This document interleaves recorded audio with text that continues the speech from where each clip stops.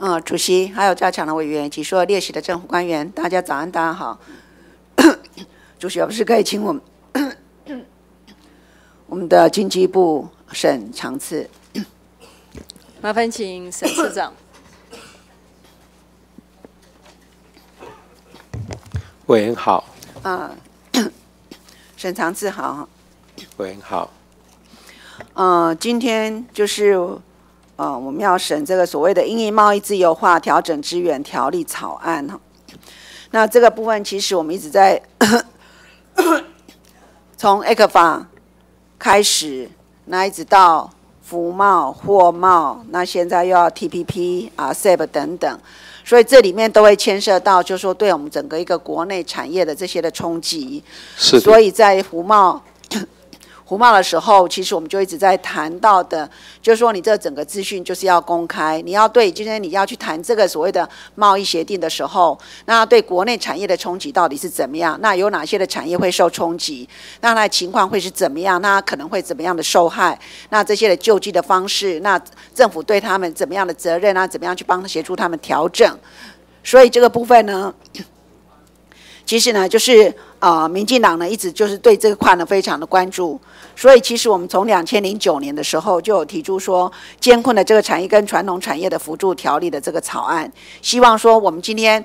对不对？这整个一个国际的越来越国际化跟自由化，那我们要去签各种协定的时候，一定会对我们国内的产业一定会有些冲击。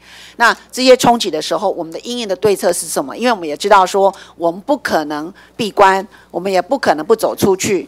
可是呢，你签的这些所谓的贸易协定，我们表面上看起来，政府一直告诉我们人民的就是说，哦，我们签了这个之后呢，我们好像这个关税就能够免了，然后我们国内的这个经济就能够起来。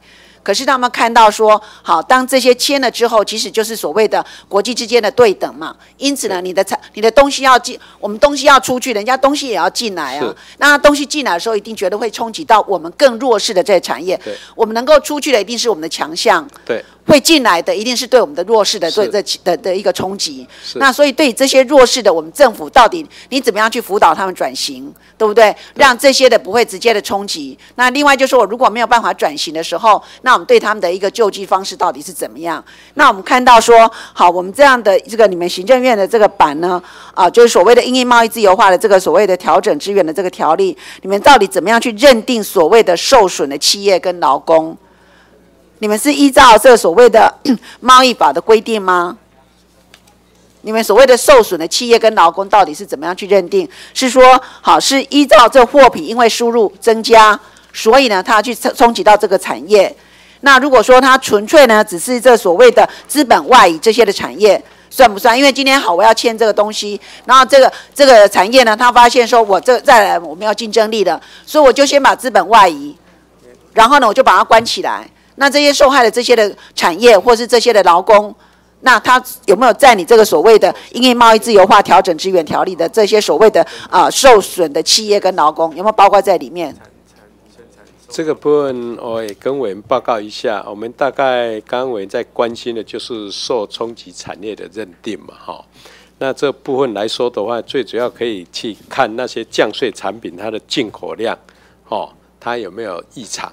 增加，那这个部分呢，来作为一个很重要的，我们在监控的时候一个很重要的一个依据。所以换句话说，你们仍然是依照所谓的贸易法第十八条的规定，就是说，货品因为输入增加，致国内生产相同或直接竞争产品的产业遭受严重损害或有损严重损害之余者，那有关主管机关、该产业或其所属工会。好，工会或其他团体呢？相关的团体得向主管机关申请产业受害之调查及进口救济，是不是依照这个？这这里我也利用这个机会跟委员报告一下哈。最主要呢，我们就是这一个所谓的我们主管机关会针对国内产业的市场占有率、销售的状况，以及生产量、生产力、产能利用率、利润跟损失方面就业情形。哦，以及相关的其他因素的因果关系呢，来来透过我们那个委员会来把它来做一个认定。对，那现在就是说，好，我们知道你们的这个 A 克法律一直在讲说，从民国九十九年到一百零八年，你们一共编列了九百五十二亿元的这个预算，就是说要来这做所谓的振兴辅导、体体制调整，还有损害救济嘛。是。那你们其中的一个非常大笔的，就是所谓的振兴辅导，对，有三百有五百二十三亿嘛。对。那你们这振兴辅导，你们现在到底振兴了什么？辅导了什么？那另外一个，你们要体质调整有三百五十三亿，其实你真正损害救济的只有七十五亿，对不对？这个部分来说的话，刚刚委也一直在关心说，在执行的一个情况怎么样了哈？我们现在呢也协助辅导的业者大概十五万家左右哈，那产值呢增加了大概有这个一千多亿，降低成本呢也五十七亿左右。那最重要，大家可能比较。直接感受到就是 MIT 的产品部分，你可以看到引领那个毛巾的那个产业聚落啊，过去呢可以说几乎整个都快要全部收掉。透过这个 MIT 的辅导以后呢，整个呢他们又能够把它。恢复起来，然后又再投资。对，没有错，这个成果我们是看得到的。就是说，你们让它有更有创意的，对，好，然后改变，所以你就看到这所谓的调整嘛。对，就我们我们的就这些的纺织业，原来变成是一个本来快要变成是一个黄昏的产业。对。但是我们加上这些的文创，加上一些新的创意进去之后，让它整个一个重新活络起来。所以我们看到说，我们这些传统产业，事实上它并不是说它即将走向没落，其实它是可以加上一些新的元素进去的时候，它其实是可以活络起来的，因为我们所有的这些的本都在，对不对？我们这些商人的这种非常的灵活，然后呢，能够拿着一纸皮箱走向全世界这样的一个韧力跟这个毅力，其实这些的本质都还在，这些的生的根本都在。所以这里需要的是政府，你怎么样去拉他一把？怎么样去给他的这些的资源？资源不是只有给钱，事实际上是你如何把这些的相关的文创的这些人才，那这些的想法等等进去去辅导他。那的确在这一块，你们在纺织这业这一块是做的不错，也。让我们开始走向国际。那我们现在要看的说，我们国内的传统产业不是只有纺织业，其实有各种各式样的各种产业。那在这里就牵涉到，就是说，好，你们一直在讲说，啊，我们对这些受害的产业，我们有九百五十二亿可以去做调整，去做去做这个救济。那今天我们看到的，就是说，你们实际上受害的这些的这个，好像到目前为止。你们好像只有审查这所谓的毛巾产业的这个个案嘛，其他好像没有嘛。加我我跟委员报告一下哈，这十七类二十二项啊，就像礼拜五部长呢也跟我们这个请记业者谈哦。现在这十七类二十二项，可以说部长都紧。紧锣密鼓的，每个礼拜大概有一场两场，跟这些业者在座谈。那他们也讲出了很多的想法。那比如说像这一个所谓的请记的部分，他就讲出有的说一定要出气。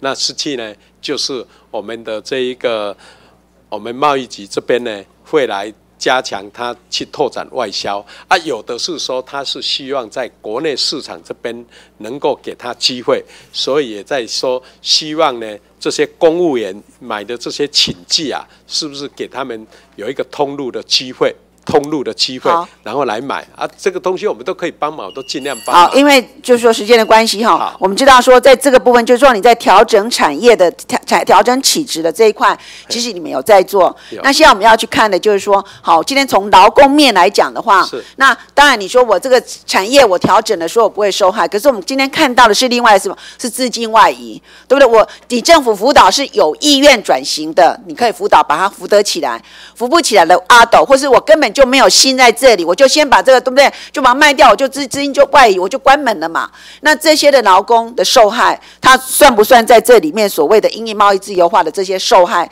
他到底有没有救济的管道？还是说这个不在你们的范围？是在这个范围，那属于这个范围的话，你们的这些比较细的，就这些受害的劳工，他能够根据什么？因为我们现在看到各种的劳工，对不对？抗争不断，一对不对？落易于土。那在这个部分的时候，你们这到底这所谓的九百五十二亿里面，到底有没有包括这一块？那这一块是不是一样的？要去认定说啊，因为是你的货品输入增加，所以你是你的老板是把资金外移，是把这个工厂卖掉了，所以那个跟这个无关。委员在关心的劳工的部分来说的话呢，那我们劳动部它有一个相关的基金会来支持这一块。那劳动部是不是？劳动部今天是有来，我们麻烦请劳动部的代表。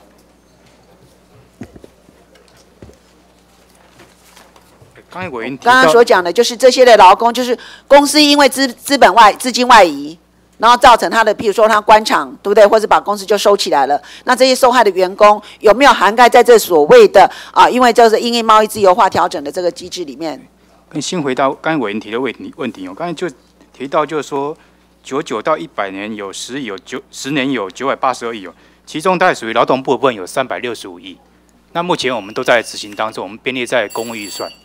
那另外谈到等一下，你那个说有多少？三百六十五亿十年的部分，三百六十五亿是失业的部分。十年，十年九百八九百八十年九百八十二亿里面，其中三百六十五亿是属于劳动部的部分。那为什么跟我们这里讲的，你是在调整体制的是三百五十三亿，跟你劳工你实际损害救济的只有七十五亿啊？你为什么会跑出三百多亿？是全部的，十年这全部九百八十二亿，劳动部占的比例是三百六十五亿。你老板劳动部是占三百六十五亿，是。那这个跟我们所得到的这个讯息是说，振兴辅导的是五百二十三亿，体质调整的是三百五十三亿，损害救济的是七十五亿。那是全部加起来九百八十二亿。我我讲部分是这九百八十二亿全部里面，我们劳动部占了三百六十五亿。好，那你们你们那个部分，你们的实际的，就是说，当今天这些劳工受损的时候，那他可以根据什么？你们有什么办法，或者有什么样的条例，或者有什么？他目们目前的话，实行当然是目前实行是依照那资源方案嘛，哈。那我们在依据这资源方案，我们定了很多要点跟计划，里面大概目前就是目前着重在那个振兴辅导部分，我们大概推了很多有有好几项的那个措施，包含我们有提那个办理职业训练，提升劳工技能提升，有办理那个充电起飞计划，就这些措施都是属于预防的阶段，让那个提升他的那个就业竞争力这这部分。你们那个就业竞争力，那个不是本来就在你们劳劳动部本来在做的业务范围吗？那你们就把这些东西全部，都关到但是这里但是。如果是认定是属于因贸易受贸易自由化影响的话，我们那些补助可能跟额度会比较高一点。比如说以职业训练来讲，一般的民众是补助百分之八十的训练费。那如果认定是受因贸易自由化影响的话，我们就是全额补助训练费。我们有做一个那个区分。那我看看，就是说，像美国他们有一个贸易调试法，那里面就有规定说，进口救济的申请人啊，就说他因为进进口救济而这个受害的这些人，他包括产业的工会、厂商，经过认可的工会，还有劳工团体。那这些呢，就是你劳工，因为因为这整个一个啊贸易的这个部分呢，受到害受害的都可以包括进来，你们是不是也一样？目前就是认定方式是由经济部先由产业做认定嘛。那未来在这个草案里面也可以劳工的部分也个别也可以提出申请，有没有受损的情形？好，我们希望就是会后你把这个所谓对劳工所有的这些救济的这个规定，你给我们一下。好，谢谢。好，谢谢尤美女尤委员。那个十二、十三条的地方已已经有讲那个授权的部分了哈，再拜托看一下，然后。